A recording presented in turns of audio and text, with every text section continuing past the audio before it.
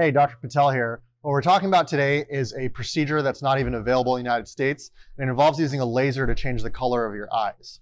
Now, this procedure was first written about in 2016 in Europe, and it's also available in Asia.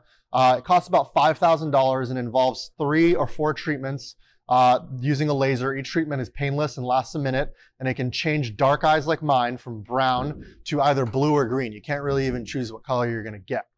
Now, there's been a lot of doctors in the United States that have expressed some concern over the safety of this. And even though there haven't been any reports of side effects or adverse events, um, it's, the product is undergoing FDA approval.